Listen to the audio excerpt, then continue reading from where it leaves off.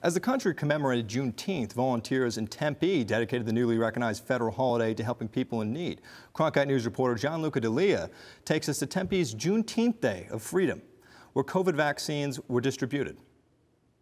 Some Maricopa County residents celebrated Juneteenth by getting the Johnson & Johnson vaccine. Street Medicine Phoenix and the University of Arizona deployed more than a dozen volunteers to the Salvation Army in Tempe to help the homeless population get their shots. Members of the team say some of the area's most vulnerable populations have been hesitant to get vaccinated. The, the largest issue that we have had thus far is individuals unfortunately having certain misconceptions or doubts about the vaccine and it's sometimes very difficult to either persuade them or you know drive them on the other side of the fence to actually take the plunge and be protected.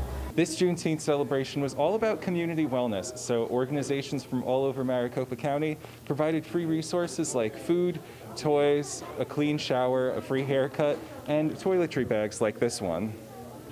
Organizers said their goal was to improve the mental health of people experiencing poverty in whatever way they could. We really want to exemplify what Juneteenth is all about. Uh, it was much, much, much, much more than a day uh, that just freed those who were enslaved. It really put a staple on the morality behind enslaving human beings, and it also was a collective effort, really, to free uh, the, you know, the mental unwellness of people around the world. Since January, groups like Circle the City, working in partnership with Maricopa County, have administered the vaccine to some 4,000 people experiencing homelessness. A lot of the work right now is just really making sure we're informing people, really giving them as much detail as possible, having conversations with them. Um, about what the vaccine is and its safety.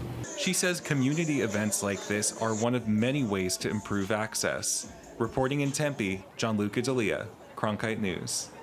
The CDC says people experiencing homelessness face a higher risk of COVID-19 during the pandemic. Maricopa County has dedicated more than $17 million to help those without housing.